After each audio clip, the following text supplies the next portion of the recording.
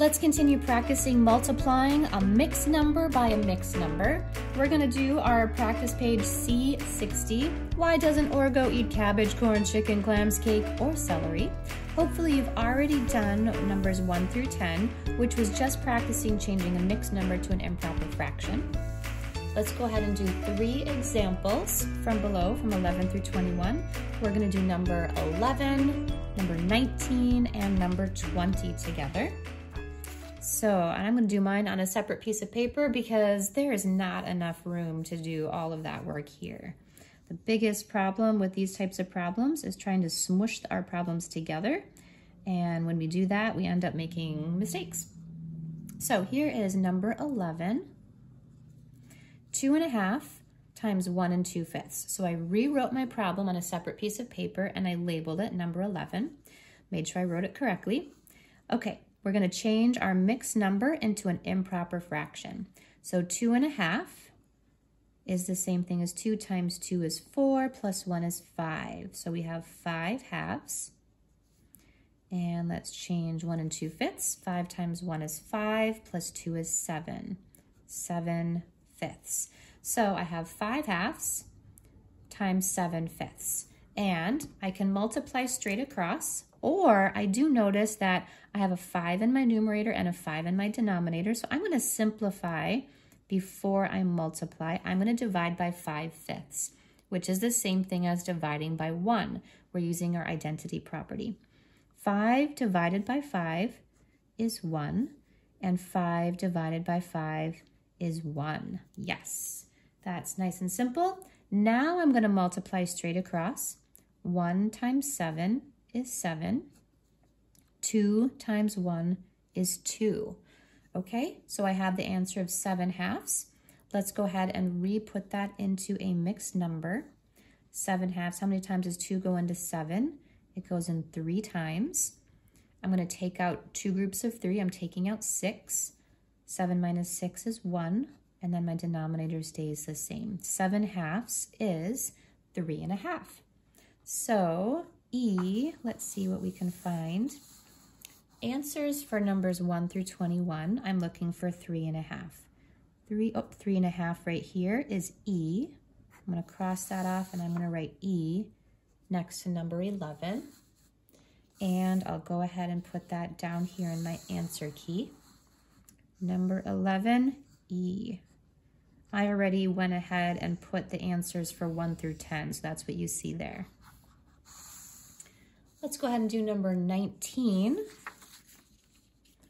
19, again, I'm going to relabel it on a separate piece of paper. Here's 19, 4 and 1 12th times 1 and 1 7th. 4 and a 12th times 1 and 1 7th. Let's go ahead and solve that. Change our mixed number to an improper fraction. 12 times 4 is 48 plus 1 is 49. So 49 twelfths times 7 times 1 is 7 plus 1 is 8. We have 8 sevenths. So we have 49 twelfths times 8 sevenths. Ooh, I do not want to do 49 times 8 and 12 times 7. That would be icky. But I do notice a couple things. I have 49 and 7, and those play nicely together. I'm going to divide by 7 sevenths. 49 divided by 7 is 7. 7 divided by 7 is 1. Ooh, I really like that. Um, I could multiply straight across here because I have much smaller numbers, but I'm going to go one step further. I notice the 8 and the 12, they play nicely together. I could divide them both by 2, but they have a bigger common factor of 4. So I'm going to go ahead and divide by 4 fourths. Remember, we're still dividing by 1. We're using our identity property. 8 divided by 4 is 2. 12 divided by 4 is 3. Now I'm going to go ahead and multiply straight across. 7 times 2 is 14.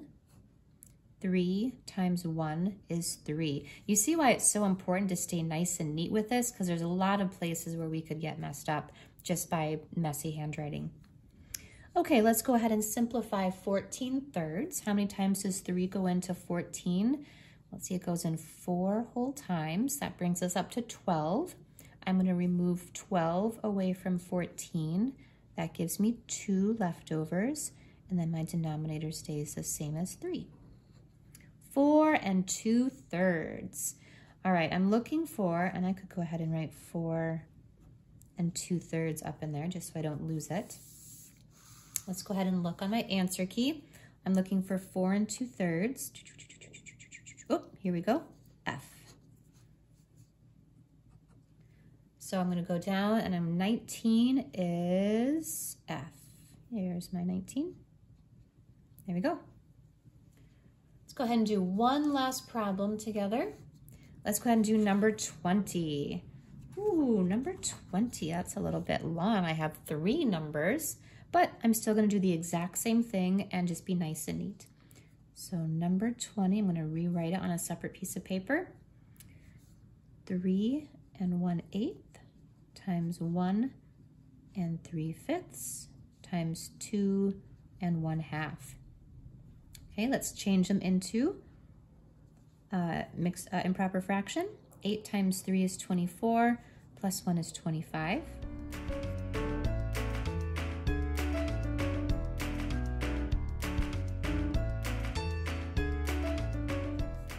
All right, so I changed each of my mixed numbers into improper fractions. I could multiply straight across, ooh, but I'm gonna see if I can simplify first to make my life easier. Do you see anything in your numerator and denominator that play nicely together?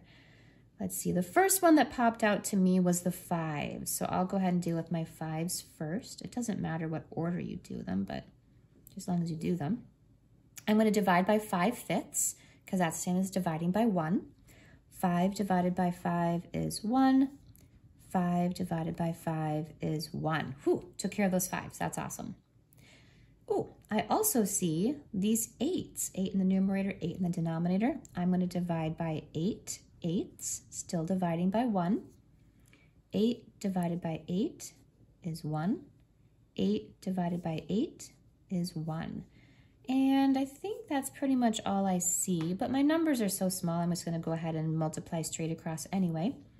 25 times one times one is 25. One times one times two is two.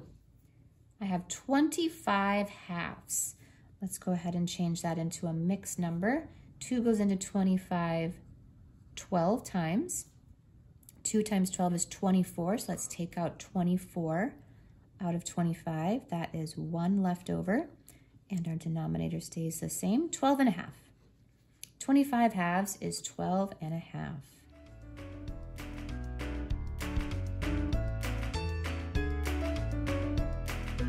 There we go. So we have part of a answer to our question written down. Go ahead and finish practicing 11 through 21 and see if you can come up with the answer to why doesn't Orgo eat cabbage, corn, chicken, clams, cake, or celery?